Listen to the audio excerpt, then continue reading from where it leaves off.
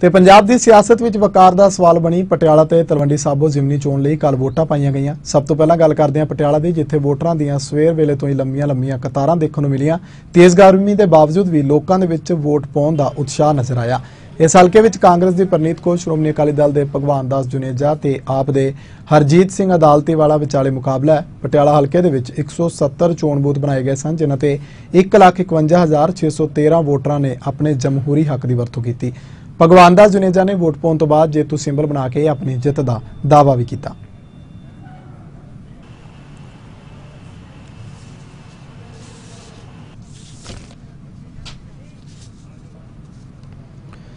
ਤੇ ਉਹ ਇਸੇ ਤਰ੍ਹਾਂ ਗੱਲ ਕਰਦੇ ਹਾਂ ਤਲਵੰਡੀ ਸਾਬੋ ਦੀ, ਜਿੱਥੇ ਵੋਟਰਾਂ ਨੇ ਆਪਣੇ ਵੋਟ ਹੱਕ ਦੀ ਵਰਤੋਂ ਕੀਤੀ ਅਤੇ ਲੋਕਾਂ ਦੇ ਵਿੱਚ ਉਤਸ਼ਾਹ ਵੀ ਵੇਖਣ ਨੂੰ ਮਿਲਿਆ। ਇੱਥੇ ਸ਼੍ਰੋਮਣੀ ਅਕਾਲੀ ਦਲ ਦੇ ਜੀਤ ਮਹਿੰਦਰ ਸਿੰਘ ਸਿੱਧੂ ਕਾਂਗਰਸ ਦੇ ਹਰਮਿੰਦਰ ਸਿੰਘ ਜੱਸੀ ਤੇ ਆਪ ਦੀ ਬਲਜਿੰਦਰ ਕੌਰ ਦਰਮਿਆਨ ਮੁਕਾਬਲਾ ਹੈ। ਪੰਜਾਬੀ ਗਾਇਕ ਬਲਕਾਰ ਸਿੱਧੂ ਆਜ਼ਾਦ ਉਮੀਦਵਾਰ ਵਜੋਂ ਚੋਣ ਲੜ ਰਹੇ ਨੇ। ਸਾਰੇ ਉਮੀਦਵਾਰਾਂ ਨੇ ਆਪਣੇ ਬੂਥ ਕੇਂਦਰ ਤੇ ਜਾ ਕੇ ਵੋਟ ਪਾਈ ਅਤੇ ਜਿੱਤ ਦਾ ਦਾਅਵਾ ਵੀ ਕੀਤਾ। ਬਲਕਾਰ ਸਿੱਧੂ ਨੂੰ ਪਹਿਲਾਂ ਆਮ ਆਦਮੀ ਪਾਰਟੀ ਵੱਲੋਂ ਟਿਕਟ ਮਿਲੀ ਸੀ, ਪਰ ਬਾਅਦ ਵਿੱਚ ਇਹ ਟਿਕਟ ਕੱਟ ਕੇ ਬਲਜਿੰਦਰ ਕੌਰ ਨੂੰ ਦੇ ਦਿੱਤੀ ਗਈ, ਜਿਸ ਤੋਂ ਨਿਰਾਸ਼ ਬਲਕਾਰ ਸਿੱਧੂ ਨੇ ਅਮਾ- ਆਜ਼ਾਦ ਉਮੀਦਵਾਰ ਦੇ ਤੌਰ ਤੇ ਆਪਣੀ ਨਾਮਜ਼ਦਗੀ ਦਾਖਲ ਕਰ ਦਿੱਤੀ ਸੀ। ਦੋਹਾਂ ਹਲਕਿਆਂ ਦੇ ਵਿੱਚ ਕੁੱਲ 15 ਉਮੀਦਵਾਰ ਚੋਣ ਮੈਦਾਨ ਵਿੱਚ ਨੇ ਅਤੇ ਵੋਟਾਂ ਦੀ ਗਿਣਤੀ 25 ਅਗਸਤ ਨੂੰ ਹੋਵੇਗੀ।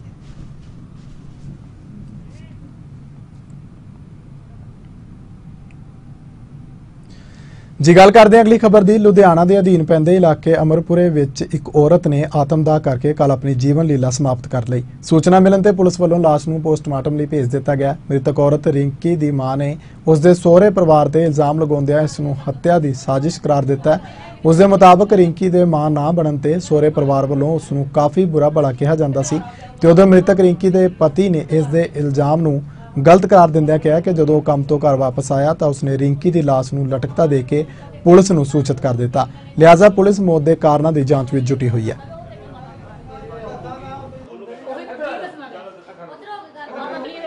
ਮੈਂ ਤੇਰੀ ਸੰਗੀ ਘੋੜ ਜਾਣੀ ਮੈਂ ਆਪੇ ਇੱਥੇ ਅੰਦਰ ਹੋ ਜਾਣਾ ਆਹੋ ਮੈਂ ਤੇਰੀ ਸੰਗੀ ਘੋੜ ਕੇ ਅੰਦਰ ਹੋ ਜਾਣਾ ਮੈਨੂੰ ਤੂੰ ਜਾਣਦਾ ਨਹੀਂ ਮੇਰੀ ਬੇਟੀ ਦੀ। ਬੇਟੀ ਦੀ। ਕੀ ਕਾਰਨ ਸੀ? ਡੈਥ ਦਾ ਕੋਈ ਕਾਰਨ?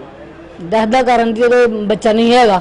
ਤੇ ਇਹ ਜਿਹੜੇ ਸਹੁਰੇ ਉਹਦੇ ਬੜਾ ਤੰਗ ਕਰਦੇ ਸੀ ਉਹਨੂੰ, ਕਦੀ ਦਾਜ ਦੇ ਮੇਣੇ ਮਾਰਦੇ ਸੀ, ਕਦੀ ਬੱਚੇ ਦੇ ਮੇਣੇ ਮਾਰ, ਉਹਨੂੰ ਕਹਿੰਦੇ ਕਿ ਇਹ ਜਗ੍ਹਾ ਛੱਡ ਦੇ, ਅਸੀਂ ਆਪਣੇ ਦੂਸਰੇ ਮੁੰਡੇ ਨੂੰ ਰੱਖਣਾ, ਤੈਨੂੰ ਨਹੀਂ ਰੱਖਣਾ। ਇੱਕ ਅਸੀਂ ਕੱਢ ਦਿੱਤਾ ਜੰਮੂ, ਤੈਨੂੰ ਵੀ ਨਹੀਂ ਰਹਿਣ ਦੇਣਾ ਇੱਥੇ। ਇਹ ਨਹੀਂ ਸਾਨੂੰ ਪਤਾ ਲੱਗਾ ਜੀ, ਸਾਨੂੰ ਕਿਸੇ ਨੇ ਨਹੀਂ ਫੋਨ ਕੀਤਾ। ਇਹ ਸਾਨੂੰ ਕਿਸੇ ਕੋਲ ਪਤਾ ਲੱਗਾ ਕਿ ਉਹਨੇ ਫਾਹ ਲਾ ਲਿਆ ਆਪਣੇ ਗਲਾ ਗਲਾ ਫਾਹ ਲਾ ਕੇ ਤੇ ਮਰ ਗਈ, ਫਾਹ ਲਾ ਲਿਆ ਉਹਨੇ। ਤੇ ਸਾਨੂੰ ਇਹ ਪੂਰਾ ਹੀ ਸਾਰੇ ਟੱਬਰ ਤੇ ਸ਼ੱਕ ਹੈ ਕਿ ਉਹ ਆਪਣੇ ਆਪ ਆਤਮ ਹੱਤਿਆ ਕਰਨ ਵਾਲੀ ਨਹੀਂ, ਉਹ ਬੜੇ ਸੁਲਝੇ ਦਿਮਾਗ ਦੀ ਬੜੀ ਸਮਝਦਾਰ ਕੁੜੀ। ਇਹ ਬਸ ਕਾਰਨ ਤਾਂ ਉਹਨੇ ਮੈਨੂੰ ਦੱਸਿਆ ਨਹੀਂ ਨਾਲੇ ਮੈਂ ਮੈਂ ਕੰਮ ਤੇ ਗਿਆ ਸੀ ਇਹ। ਪੀਰਾ ਫਿਕਰਾ ਦੇ। ਘਰ ਕੌਣ ਕੌਣ ਸੀ? ਘਰੇ ਦੇ ਘਰ ਦੇ ਤੇ ਗਏ ਸੀ ਆਪਣੇ ਮਰਗ ਮਰਗ ਤੇ ਬਜ਼ੁਰਗ ਸੀ ਸਾਡੇ ਬਜ਼ੁਰਗ ਘਰੇ।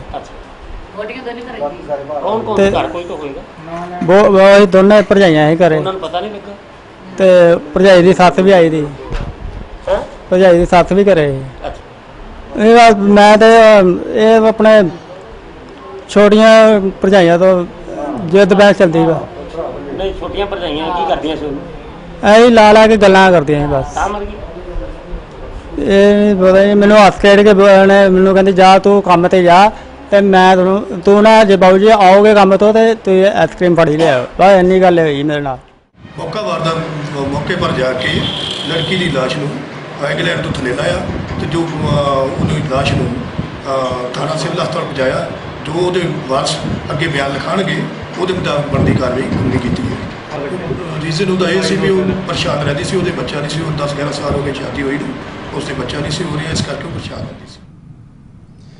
ਵਾਧੇ ਅਗਲੀ ਖਬਰ ਵੱਲ ਮਮਦੋਟ ਖਾਈ ਸੜਕ ਤੇ ਇੱਕ ਕਾਰ ਤੇ ਮੋਟਰਸਾਈਕਲ ਵਿਚਾਲੇ ਟੱਕਰ ਹੋਣ ਨਾਲ ਇੱਕ ਵਿਅਕਤੀ ਦੀ ਮੌਤ ਹੋ ਗਈ, ਜਦਕਿ ਦੋ ਗੰਭੀਰ ਰੂਪ ਦੇ ਵਿੱਚ ਜ਼ਖਮੀ ਹੋ ਗਏ। ਜਿਨ੍ਹਾਂ ਨੂੰ ਇਲਾਜ ਦੇ ਲਈ ਸਿਵਲ ਹਸਪਤਾਲ ਦੇ ਵਿੱਚ ਦਾਖਲ ਕਰਵਾਇਆ ਗਿਆ। ਉਧਰ ਮੌਕੇ ਤੇ ਪਹੁੰਚੀ ਪੁਲਿਸ ਨੇ ਲਾਸ਼ ਨੂੰ ਕਬਜ਼ੇ 'ਚ ਲੈ ਕੇ ਹਾਦਸੇ ਦੀ ਜਾਂਚ ਸ਼ੁਰੂ ਕਰ ਦਿੱਤੀ ਹੈ। ਜਾਣਕਾਰੀ ਦੇ ਮੁਤਾਬਕ ਇਹ ਤਿੰਨੋਂ ਵਿਅਕਤੀ ਦੋਸਤ ਸਨ, ਜੋ ਪਸ਼ੂਆਂ ਦੇ ਵਪਾਰ ਦੇ ਮਾਮਲੇ 'ਚ ਸ਼ੁਰੂ ਮੋਟਰਸਾਈਕਲ ਤੇ ਫਿਰੋਜ਼ਪੁਰ ਵੱਲ ਨੂੰ ਜਾ ਰਹੇ ਸੀ, ਜਦੋਂ ਰਾਹ ਦੇ ਵਿੱਚ ਹੀ ਕਾਰ ਨਾਲ ਟੱਕਰ ਹੋਣ ਨਾਲ ਇਹ ਹਾਦਸਾ ਵਾਪਰ ਗਿਆ। ਫਿਲਹਾਲ ਪੁਲਿਸ ਆਪਣੀ ਕਾਰਵਾਈ ਦੇ ਵਿੱਚ ਜੁਟੀ ਹੋਈ ਹੈ।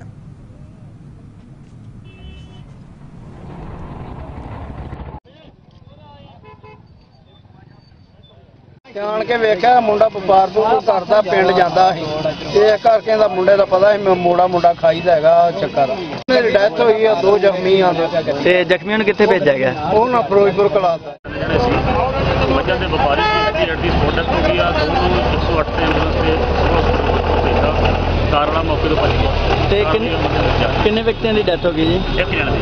ਕਿਸ ਕਿਸ। ਚੀਜ਼ ਦੇ ਵਿਚਾਲੇ ਟੱਕਰ ਹੋਈ ਹੈ? ਇੱਕ ਕਾਰ ਦੇ ਤੇ ਮੋਟਰਸਾਈਕਲ ਦੋਨਾਂ ਦੇ। ਤੇ ਜ਼ਖਮੀ ਕਿੰਨੇ ਨੇ?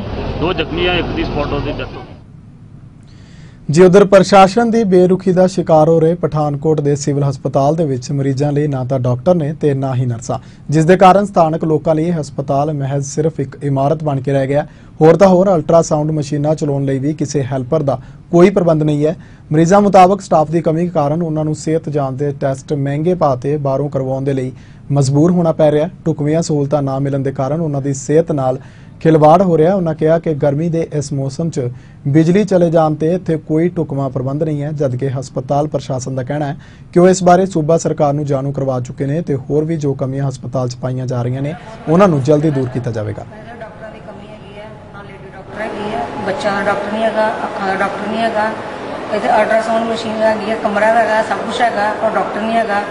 ਇਸ ਕਰਕੇ ਸਾਡੀ ਸਰਕਾਰ ਦੇ ਅੱਗੇ ਮੰਗ ਹੈਗੀ ਹੈ ਕਿ ਇੱਥੇ ਜਲਦ ਤੋਂ ਜਲਦ ਜਿਹੜੇ ਡਾਕਟਰਾਂ ਦੀ ਜਿਹੜੀ ਕਮੀਆਂ ਪੂਰੀ ਕੀਤੀ ਜਾਏ, ਤਾਂ ਕਿ ਗਰੀਬ ਜਿਹੜੀ ਜਨਤਾ ਜਿਹੜੀ ਆਉਂਦੀ ਹੈ ਉਹਨਾਂ ਨੂੰ ਪੂਰੀ ਪੂਰੀ ਸੁਵਿਧਾ ਮਿਲੇ।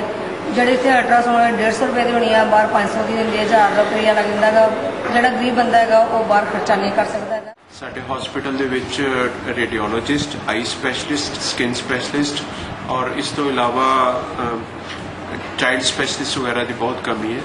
ਔਰ ਸਭ ਤੋਂ ਜ਼ਿਆਦਾ ਜਿਹੜੀ ਜ਼ਰੂਰਤ ਹੈ ਉਹ ਈਐਮਓਸ ਸਾਡੇ ਕੋਲ ਕੋਈ ਨਹੀਂ ਹੈ। ਸਾਰੀਆਂ ਜਿਹੜੀਆਂ ਪੋਸਟਾਂ ਹੈ ਉਹ ਵੇਕੈਂਟ ਪਈਆਂ ਹੈ, ਜਿਹਦੇ ਕਰਕੇ ਸਾਨੂੰ ਥੋੜੀ ਮੁਸ਼ਕਿਲ ਆ ਰਹੀ ਹੈ। ਇਹ ਕਾਫੀ ਕਈ ਸਾਲਾਂ ਤੋਂ ਕੁਝ ਪੋਸਟਾਂ ਜਿਹੜੀਆਂ ਹੈ ਕਈ ਸਾਲਾਂ ਤੋਂ ਖਾਲੀ ਪਈਆਂ ਹਨ ਔਰ ਇਸ ਦੇ ਲਈ ਬਾਰ-ਬਾਰ ਸਰਕਾਰ ਨੂੰ ਲਿਖਿਆ ਜਾ ਚੁੱਕਾ ਹੈ ਔਰ ਸਰਕਾਰ ਵੀ ਇਸ ਬਾਰੇ ਚ ਕੋਸ਼ਿਸ਼ ਕਰ ਰਹੀ ਹੈ ਕਿ ਹੋਰ ਡਾਕਟਰ ਦਿੱਤੇ ਪਠਾਨਕੋਟ ਤੋਂ ਬਾਅਦ ਰੁਕ ਕਰਦੇ ਹਾਂ ਰਾਜਾ ਸੰਸੀ ਵੱਲ, ਜਿੱਥੇ ਪੁਲਿਸ ਦੇ ਐਕਸਾਈਜ਼ ਵਿਭਾਗ ਵੱਲੋਂ ਛਾਪੇਮਾਰੀ ਦੇ ਦੌਰਾਨ ਭਾਰੀ ਮਾਤਰਾ ਦੇ ਵਿੱਚ ਕੱਚੀ ਲਾਹਣ ਬਰਾਮਦ ਕੀਤੀ ਗਈ ਹੈ। ਮਿਲੀ ਇੱਕ ਗੁਪਤ ਸੂਚਨਾ ਦੇ ਆਧਾਰ ਤੇ ਪੁਲਿਸ ਪਾਰਟੀ ਨੇ ਪਿੰਡ ਕੋਟਲੀ ਸਕਾਂ ਦੇ ਵੱਖ-ਵੱਖ ਥਾਵਾਂ ਤੇ ਛਾਪੇਮਾਰੀ ਕਰਨ ਤੇ ਤਿੰਨ ਵਿਅਕਤੀਆਂ ਪਾਸੋਂ ਕੱਚੀ ਲਾਹਣ ਦੇ ਭਰੇ ਡਰਮ ਕਾਬੂ ਕੀਤੇ ਨੇ। ਪੁਲਿਸ ਦੇ ਵੱਲੋਂ ਇਨ੍ਹਾਂ ਤਿੰਨ ਵਿਅਕਤੀਆਂ ਤੇ ਮਾਮਲਾ ਦਰਜ ਕਰਕੇ ਪੁੱਛਗਿੱਛ ਕੀਤੀ ਜਾ ਰਹੀ ਹੈ।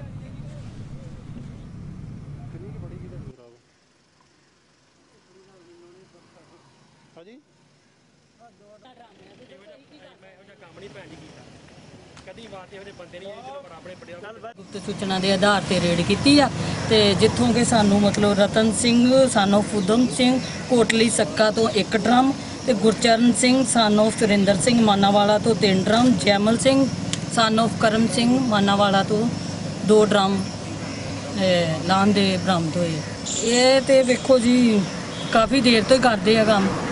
ਜਦੋਂ ਫੜੇ ਜਾਂਦੇ ਚੋਰ ਤੇ ਉਦੋਂ ਹੀ ਹੁੰਦੇ। ਜੀ, ਬੁਲੇਟਿਨ ਦੇ ਅਖੀਰ ਵਿੱਚ ਇੱਕ ਵਾਰ ਫਿਰ ਤੋਂ ਨਜ਼ਰ ਪਾਵਾਂਗੇ ਹੁਣ ਤੱਕ ਦੀਆਂ ਖਾਸ ਖਬਰਾਂ ਉੱਤੇ। ਨਾਪਾਕ ਇਰਾਦਿਆਂ ਤੋਂ ਬਾਜ਼ ਨਹੀਂ ਆ ਰਿਹਾ ਪਾਕਿਸਤਾਨ। ਬੀਤੀ ਰਾਤ ਜੰਮੂ ਦੇ ਆਰਸਪੁਰਾ ਸੈਕਟਰ 'ਚ ਸਰਹੱਦੀ ਚੌਕੀਆਂ ਤੇ ਕੀਤੀ ਅੰਨ੍ਹੇਵਾਹ ਗੋਲੀਬਾਰੀ, ਬੀਐਸਐਫ ਨੇ ਦਿੱਤਾ ਮੂੰਹ ਤੋੜ ਜਵਾਬ। ਪਾਕਿਸਤਾਨ ਤਰਫੋਂ ਗੋਲੀਬੰਦੀ ਕਾਰਨ ਸਥਾਨਕ ਲੋਕਾਂ 'ਚ ਭਾਰੀ ਦਹਿਸ਼ਤ, ਬੰਕਰਾਂ 'ਚ ਸੌਂ ਕੇ ਕੱਟੀ ਰਾਤ, ਜਨਵਰੀ 2014 ਤੋਂ ਹੁਣ ਤੱਕ 59 ਵਾਰ ਸੀਜ਼ਫਾਇਰ ਦਾ ਉਲੰਘਣ। ਪੰਜਾਬ ਦੇ ਲੋਕਾਂ ਨੂੰ ਲੱਗਿਆ ਮਹਿੰਗੀ ਬਿਜਲੀ ਦਾ ਝਟਕਾ। 2.74% ਫੀਸਦੀ ਪ੍ਰਤੀ ਯੂਨਿਟ ਮਹਿੰਗੀ ਹੋਈ ਬਿਜਲੀ। 1 ਅਪ੍ਰੈਲ 2014 ਤੋਂ ਵਧੀਆਂ ਦਰਾਂ ਹੋਣਗੀਆਂ ਲਾਗੂ। ਅਤੇ ਪਟਿਆਲਾ ਤੇ ਤਲਵੰਡੀ ਸਾਬੋ ਜਿਮਨੀ ਚੋਣਾਂ ਦਾ ਕੰਮ ਕੱਲ ਅਮਨ ਅਮਾਨ ਨਾਲ ਹੋਇਆ ਸਮਾਪਤ। ਪਟਿਆਲਾ 'ਚ 60% ਫੀਸਦੀ ਅਤੇ ਤਲਵੰਡੀ ਸਾਬੋ 'ਚ 82% ਹੋਈ VOTING